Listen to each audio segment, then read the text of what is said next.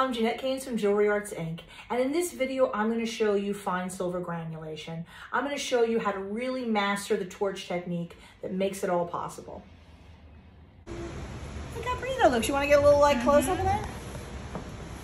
Look at what Susie has done. It's kind of like Fucking amazing. fun- A little to watch them like do their thing. Yeah, it's beautiful. I find it very, I mean, I guess because I'm OCD, but I, I find these things very mesmerizing and it's so nice to just get absorbed in what you're doing. It's a very peaceful state. Actually. Yes. Yeah, it is. Yeah. You know what I mean? Because it's like, mm, I feel like I enter this little microcosmos and I'm just there and it's me and the granules and it's lovely. okay, so there's my philosophy for the day. So one thing that we were talking about before that I want to mention either again or for the first time, depending of whether we were filming or not, is that it is important as you're setting these up that they stay moist, that they be moisturized because you know you're sitting in a studio which a lot of times is warm or the fans going whatever, and the water's evaporating. So like especially this little section in the center, if that thing gets completely dry, they'll just run. You know what I mean? They'll just roll down to the edge or if if poked. So now we're at the point where we're ready to glue, but before we glue, I'm gonna add a tiny bit of water to make sure everything is moist. Because if it's totally dry and I touch it with the brush, it might just roll away. Or I'll end up with too much glue. Because what I really want is for the granules to be moist. I add a tiny bit of glue, and so then the glue kind of spreads through the moisture and, you know, like spreads it around, kind of a thing, with a minimal amount. Did I mention a minimal amount? Yes, I did. um, so I'm going to make sure, just like that, to add a tiny bit. It's mainly this that's the at risk granules, you know what I mean? The stuff that's sitting over here, I'm not saying it couldn't move, but it's resting against the wire, so it's much less likely to do something naughty. Which is why we love to put a wire on first and then granulate.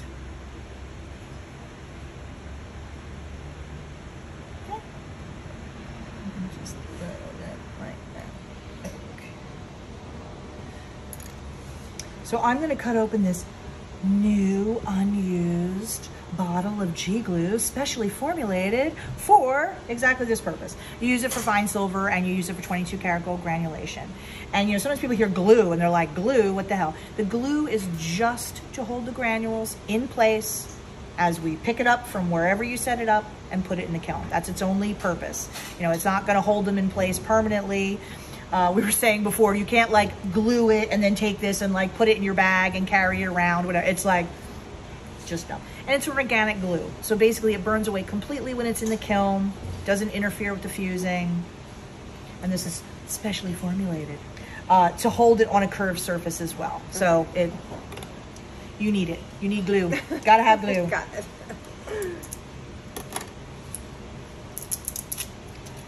Well, give it a good shake.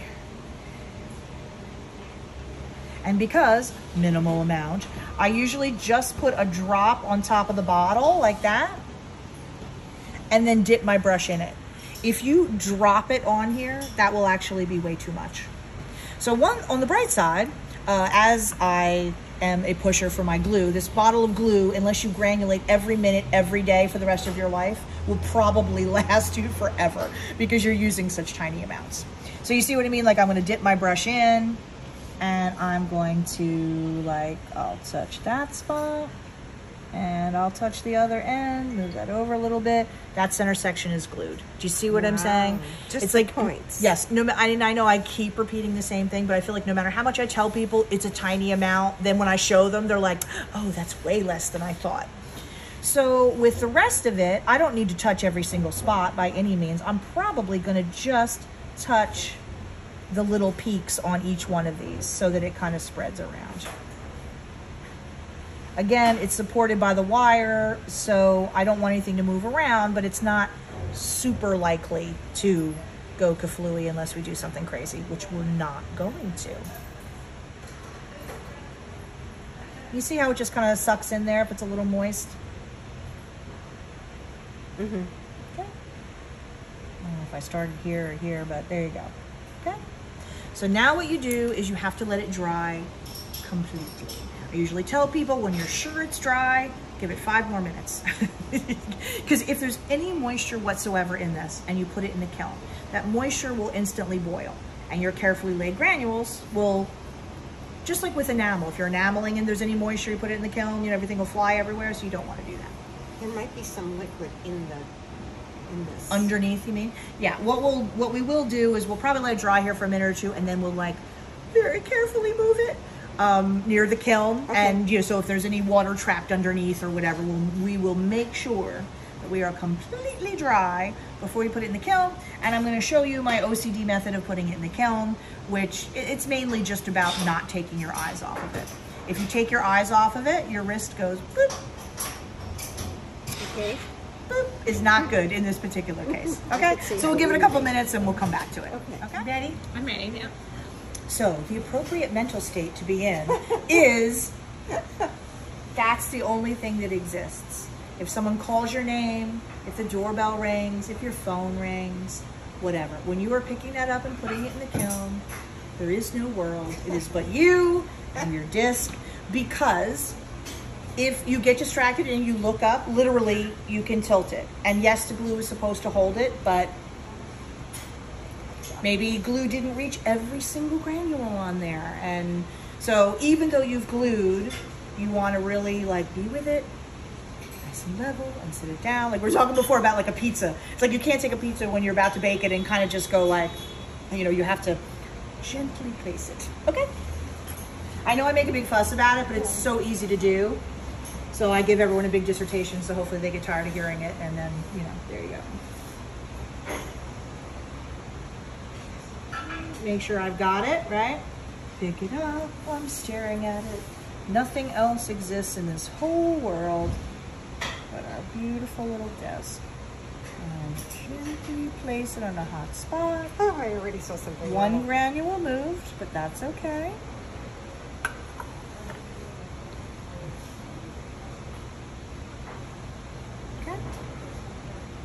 So we have two choices when one granule moves. We can go ahead and fuse everything else down and then replace that granule, or we can take it out and they'll all move.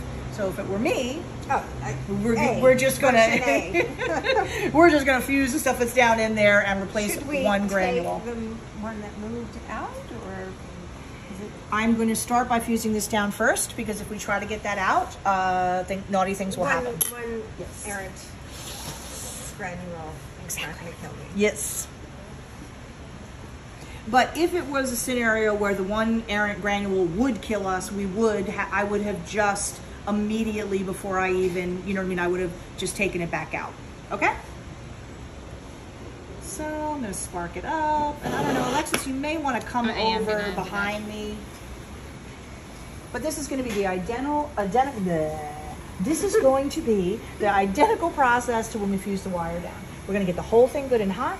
I'm going to wait for the edges to get shiny and melt a little bit, and then I'm going to push that molten metal underneath the granules using the feather tip, which is the end of the flame. Okay. Let me just do. Uh, it doesn't wobble around. Okay, so you put the lid there to cast a shadow, helps you to see, and keeps the heat in. Elbow up in the air, flame straight up and down. Start circling. And when I see the edges of the back sheet get shiny and melt a little bit, that's when I'm going to go in there and do my thing. Oh, you see that? Is it a little shine? What? And then we're gonna do that. Granulation, baby. So I can do like one more pass through there, but you know, you don't want to go too far. Sometimes it's better to like do some, take it out and look, mm-hmm. because I did see it flow, you know, underneath. So I think we're done, but I'm gonna just do ever so lightly one more pass so that you can see it again. You see that? Mm-hmm. And then see that? Oh, yeah. And then mm-hmm. see that? Boop. That's it. So then you take it out, you let it cool, and you look at it really carefully. Because when you're when you're granulating, you know, sure, lots of times you do it, you put it down, they're all done, you're finished. but it's not uncommon at all to like get most of them down, but this one little section needs a little more. And in that case, we just put it back in the kiln. So it's no big deal. It happens. Okay, look how pretty that looks. Because also, we, if we want to replace that one granule we lost, we'll have to glue that in place. But what I would suggest is we'll pause and check everything else and see if anything else needs any action so that we know we know our plan when we go in there and then we're going to glue that one granule back in place put it back in there and we'll fuse it check it from the side a little bit but like i was looking at it before I mean, like you can see all those beautiful little Yeah, necks I looked at it from the side. um, we well now now you know they're on. Um, we'll also take a macro, you know, and and try to get a really good shot just to show the little connections. But it, it looks good to me. So I'm gonna just put a little granule here with a tiny bit of wood. Cause see what happened? This one that was supposed to go right there just kind of. Can you point at it again? Right here. Now, if you didn't know that that's what the pattern was supposed to look like, you wouldn't know that that's wrong. But we're gonna go ahead and add another granule there. So all I'm gonna do is just dip a granule in a little bit of water and then add a tiny bit of glue. Stick it in the kiln.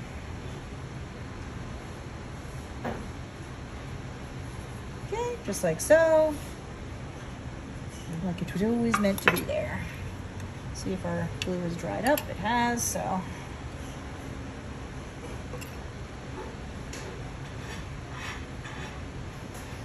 Glue. I'm gonna mop off some of that extra water because it doesn't need to be that wet. That whole section, just a little bit.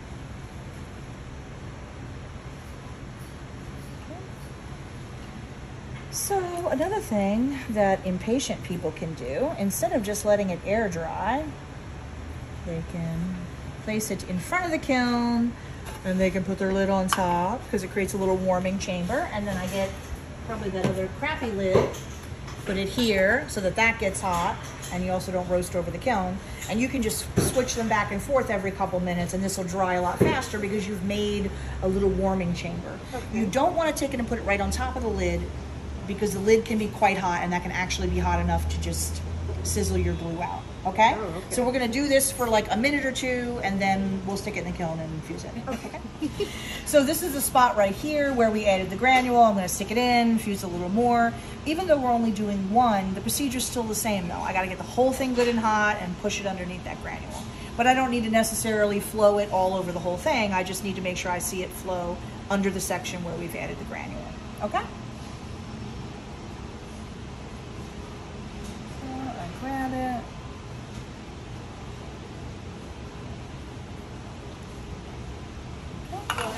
And I'll just point to it again. This is the spot right here that, that I need to make sure we flow.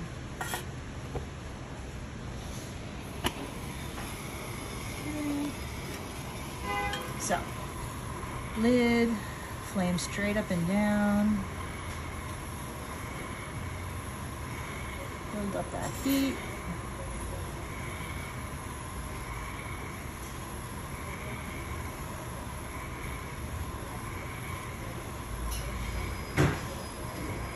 Okay, see that? And then I'm gonna go whoop, done. Okay? You don't have to make the dumb noises if you don't want, but somehow I always have a sound effect uh, ready to go with these things. That's it. It's over. Bye. See you next week. Oh, wow. time. There it is in all its glory. So essentially when you're checking granulation, what I'm gonna try to do is I'm gonna take this and I'm gonna tilt it. Uh, I do it under my magnifier. Uh, and look for the little, we call it a neck. There's gonna be a tiny connection of metal between the granule and the back sheet. And you'll also see little connections between each granule, or maybe not each granule, but some of the granules. But although that helps, what you need to make sure of is you have the connection between the granule and the back sheet. Because let's say a couple granules had connections to each other, but if they're not well attached to the back sheet, they could just peel off in a section. Do you know what I'm saying? So, Yes, so that's not enough, if you know what I mean. do I know what you're saying? Yes. Who hasn't had that happen, right? So I believe these are all beautifully attached because they look good to me and I saw the metal flow and, and all those things. But we will take it and just like we're going to go under the magnifier and we're going to just slowly tilt it so that we can look under each of the clusters and each of the sections and make sure that we see the connections that we're looking to see. Okay,